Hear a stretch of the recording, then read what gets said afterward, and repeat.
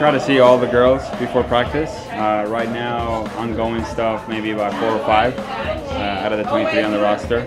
Check in with them and touch base and make sure everything's not necessarily physically, but uh, emotionally they're doing okay as well.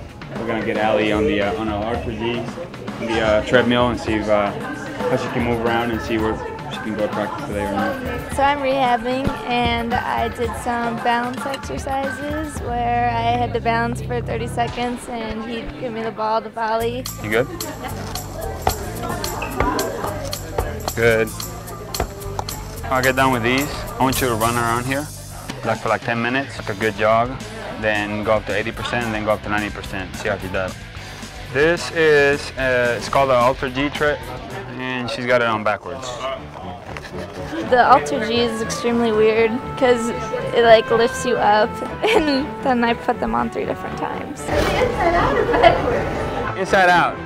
They're usually pretty sharp, but uh, rough day today. It's the Alter G treadmill, and uh, what we're gonna do is we can take percentage of body weight for her to do a light workout to see where she's at. Uh, so we're gonna start her off with only 70% of her, of her uh, body weight. So right now it's calibrating her. Just stand with your arms to your side. And I didn't know how to run. At first I felt like I was running like awkward. Helpful to know they have all the high-tech stuff to actually help you get better because I know that if you have a tweak in one or two days it'll be better. And this is the Normatec which it's suffocating my limb. it doesn't feel too good. We use it more with like acute injuries uh, and with a lot of swelling. So basically the legs are broken down in cells and each cell has a different setting of, of what millimercury pressure for pressure is, is set at. So it compresses in stages uh, and then it decompresses in stages, allowing for some of that constriction and dilation of the blood vessels and allowing for new blood and new oxygenated blood to come down and kind of re-oxygenate the muscles. So I do travel with one of these. So we incorporate this with the uh, ice baths and um, also with the massage therapy and the stretching and the foam rolling. Um, it's kind of like a whole package. Hey, can you, you gotta get Ali up here like now.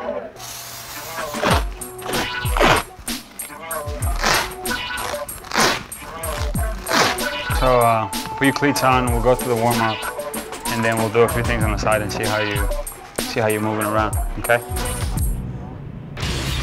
Coach Kelly and, and, and with Gillian and Jamal, the, her two assistants, have done a, a phenomenal job of incorporating um, a very active dynamic warm-up before practice and a very active um, cool down with a lot of stretching involved. It's hard to play 90 minutes on a Friday and then Friday night and then play again midday Sunday another 90 minutes. So it's hard on, the, on their bodies. Gabe is phenomenal and so talented. He uh, is invested in each and every one of the student athletes. Uh, he is extremely knowledgeable. I trust him 150% with uh, the care and concern that he is uh, giving to, to these young soccer uh, players and um, to have that kind of loyalty and that kind of experience and that kind of support and trust uh, within the staff is, is extremely important for success and, and Gabe certainly brings that for us. Help him as much as we can, uh, not just myself, but uh, our, our nutritionist, uh, with our strength staff, even with the coaches, making sure they're doing the proper things to allow their bodies to recover, uh, the proper nutrition, uh, the ice baths after, after games, after practices.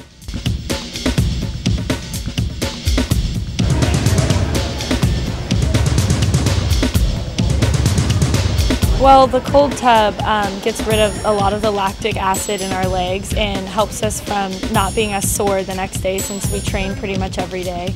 So after every training session, just depending on the level of play that we've had during the week or during the training sessions, we'll do either about 10 to 15 minutes, just depending on how our week went.